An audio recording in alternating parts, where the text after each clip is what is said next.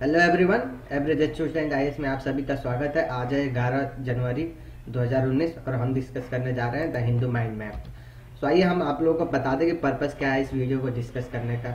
हम इस वीडियो में द हिंदू के जितने भी न्यूज़ होंगे, उसको आपको यूपीएससी सिलेबस से रिलेट कराएँगे कि कौन कौन सा न्यूज़ आपके यूपीएससी सिलेबस से रिलेटेड है। और हम आपको बताएँगे कि कैसे जो न्यूज़पेपर का जो ये न्यूज़ होता है स्टैटिक पार्ट का, वो हमारे यूपीएससी सिलेबस से कैसे उसमें रिलेट किया जाता है। और उसको कैसे फिर एग्ज़ाम में पूछा जा सकता है। इस टाइप का वीडियो मैंने एक बनाया हुआ है।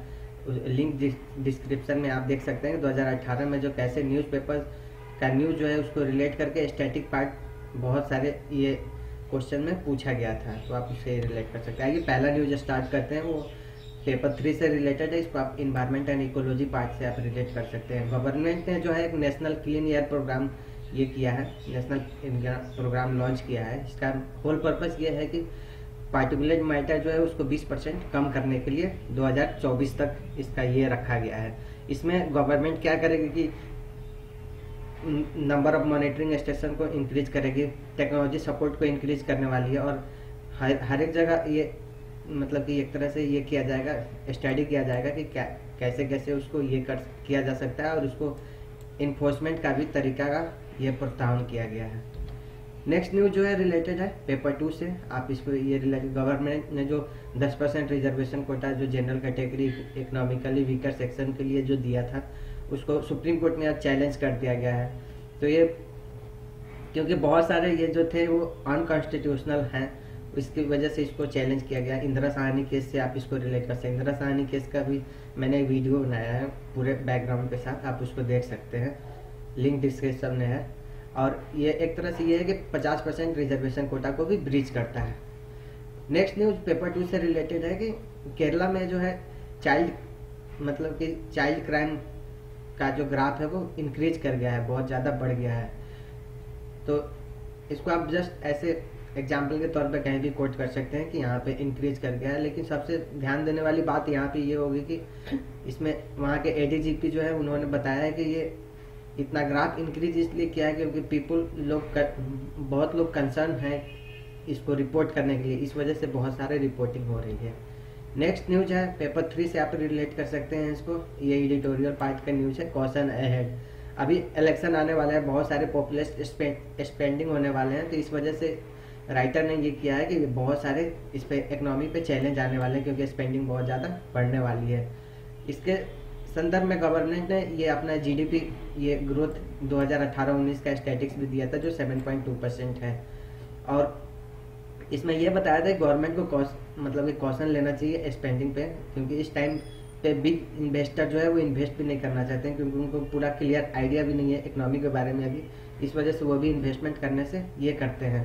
सो हम लोग को एक तरह से अभी ज़्यादा फोकस करना चाहिए स्ट्रक्चरल रिफॉर्म पे, ताकि हम लोग को प्रोडक्टिविटी को इंक्रीज किया जाता है ना कि हम लोग पॉपुलिस्ट पॉलिसी पे ज़्यादा डिपेंड करना चाहिए।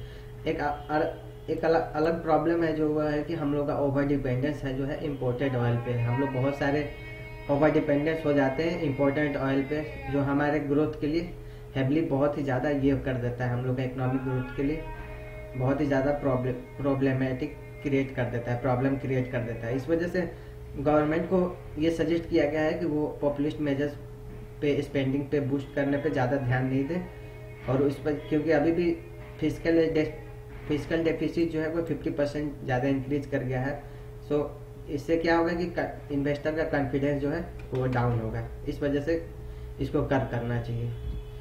नेक्स्ट न्यूज़ है एडिटोरियल पार्ट का ही है। एक सोल्यूशन ये बताया गया है कि कि कैसे हम लोग रिजर्वेशन को एक रिजर्वेशन का जो है, एक सॉल्यूशन ढूंढ सकते हैं। उन्होंने बताया कि रिजर्वेशन जो इंडिया के लिए अच्छा नहीं है, जो हम लोग रिपब्लिक होने के समय जो ये रिजर्वेशन सिस्टम डाले थे, उसका री एवेल्युएशन करना बहुत ज़रूरी है है, जबकि हमें हम बहुत सारे टेक्नोलॉजी अभी उपलब्ध है, उन लोगों को यूज़ करके ये करना चाहिए। इसमें गवर्नमेंट ने ये कहा है कि हम लोग किसी को भी एक्सक्लूड नहीं कर रहे हैं, क्योंकि आठ लाख पर एन सबका ये है, जो थ्रेशोल्ड रखा गया है। तो एक नेशनल सर्वे के रिपोर्ट के अनुसार 2011 बारे में ये कहता है कि एक्सपेंडिचर जो है 99 परसेंट हाउस होल्ड का हाल उन लोग का इसी थर्सोल्ड में पड़ता है। और according to the Indian national human development survey ये भी बताया गया है कि 98 परसेंट हाउस होल्ड का जो है, वो income less than eight lakh है। सो हम लोग किसी को भी एक्सक्लूड नहीं कर रहे ऑलमोस्ट सब किसी को भी इसमें इंक्लूड किया जा रहा है। सो अनदर प्रॉब्लम ये है कि इसमें कास्ट सर्टिफिकेट ये करने का कि कास्ट सर्टिफिकेट लेने में बहुत सारी प्रॉब्लम आ सकती है। 2014 के यूपीएससी एक यूपीएससी के एक ये रिपोर्ट में आया है कि जिसमें 0.14 परसेंट जो है एप्लीकेंट जो है यूपीएससी को क्वालिफाई किए हैं जिसमें मस्ट जो है जनरल कैटेगरी एंड ओबीसी के स्टूडेंट हैं जो है 0.17 percent and S C S T जो है सबसे लोएस्ट है 0.08 परसेंट सो ये स्टैटिक्स शो करता है कि रिजर्वेशन कोई भी हम लोग का पर्पज सॉल्व नहीं करता है. सो so, राइटर ने एक मेजर सजेस्ट किया है कि हम लोग को individual use of reserve reserve category पे ध्यान देना चाहिए। जैसे कि हम लोग रिज़र्व कैटेगरी को एक ही बार यूज़ कर सके। ना कि दो दो बार एक बार एजुकेशन के समय रिज़र्व कैटेगरी को यूज़ करें अगेन फिर जॉब के टाइम भी यूज़ करें। सो so, एक टाइम हम लोग इसको यूज़ कर सकते हैं। अगेन आई के डाटा के अनुसार ये शो किया शो किया गया है कि चिल्ड्रेन जो है आज से 11 साल के बीच में जो है 68 परसेंट ऑफ़ जो है फॉरवर्ड कास्ट के चिल्ड्रेन क्लास एक लेवल तक पढ़ते हैं वाइल द और उसके बाद जो ओबीसी के 56 परसेंट एस सी के 45 परसेंट और एस टी के 40 परसेंट है। तो हम लोग को इस पे ज़्यादा फोकस करना चाहिए कि प्राइमरी लेवल पे ज़्यादा ध्यान देना चाहिए और इक्वालिटी को वहाँ पे प्रोमोट करना चाहिए, ताकि फाउंडेशन तभी भी बन पाएगा जब हम लोग प्राइमरी लेवल पे ध्यान देंगे, ना कि अपर लेवल पे एजुकेशनल ग्रेजुएट लेवल और उसके जॉब के समय। सो प्राइमरी लेवल पे ही ध्यान देना होगा हमें। नेक्स्ट न्यूज़ है पेपर टू से रिलेटेड है कि स्टेट अप्रूवल नहीं चाहिए हम लोग को कोटा बिल के लिए, क्योंकि गवर्नमेंट ने जो है, वो फंडामेंटल राइट में अमेंडमेंट किया है। इसमें तो फंडामेंटल राइट को अमेंड करने के लिए स्टेट का अप्रूवल लेना ज़रूरी नहीं है। बस इसी आर्टिकल को इससे रिलेट किया गया है। नेक्स्ट न्यूज़ जो है, वो पेपर थ्री से रिलेटेड है कि गवर्नमेंट ने जो कैप इंक्रीज कर दिया, जो दो लाख था, उसको अब चालीस लाख कर दिया है और annual annually file GST file करने के लिए गवर्नमेंट ने अलाउ कर दिया है। से अच्छा स्टेप है। एमएसएमई सेक्टर के लिए बहुत ही लाभदायक होगा ये thank you thank you very much